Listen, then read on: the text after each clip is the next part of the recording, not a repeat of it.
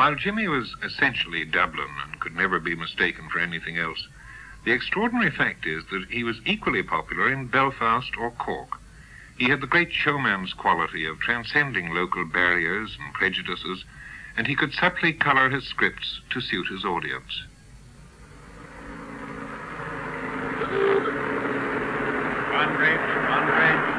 For Dublin? I beg your pardon, missus, but are we near the Free State border? I suppose you mean the northern border. It wasn't us that figured the map of Erin by that thing. All right, then. Are we near the northern border? I'm not so sure I like that either. We're not admitting it's yours, rotten as it is. Well, are we near the border? Near or far? I wish I had me foot on the Irish side of it anyway. Just you catch yourself on, missus.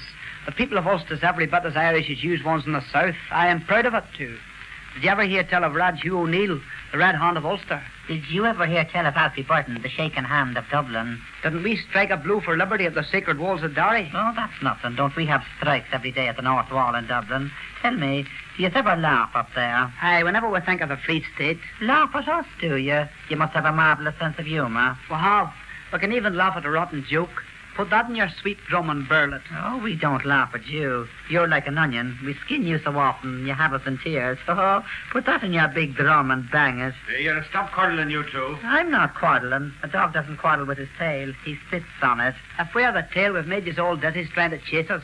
May I inquire your name, ma'am? Michael Hager. Hmm, half Irish and half Scotch. What's yours? Mulligan. Half drunk and half daft. Listen, ma'am, another one like that from you and you'll be half dead. Stop that row. What are you, half shot? No, all Cork. Then pop off and shut up. That's right. We'll settle the border question without you. Hmm, it's just a friendly argument. No ill feeling, isn't that right, ma'am? Of course it is. We're all Irish anyway, border or not. Sure.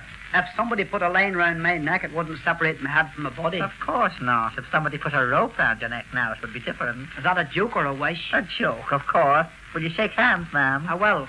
Sure, I'd shake hands with anyone. Are you trying to be funny? Oh, not at all. No, I'm glad of that.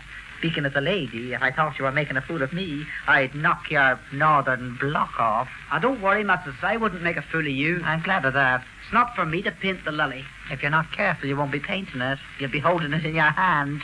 If this argument's getting a bit too friendly, chuck it. Sing a song or something. The very thing. Here's a good song. On we knocked ten thousand fishes right over Dolly's Brae. You knocked what? Ah, of course, that was a long while ago. Oh, I see. Ah, here's another good one. To the Crown and Shamrock we would go on the Antrim Road of a Sunday morning. And that was a hell of a long time ago. And look at the great travellers we are.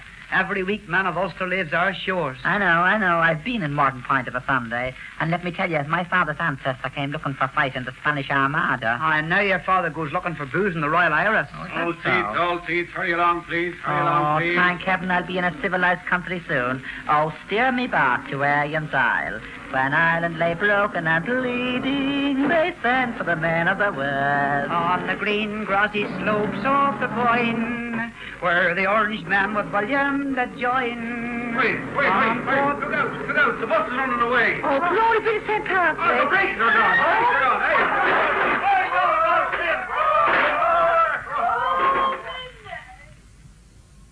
Hands across the border.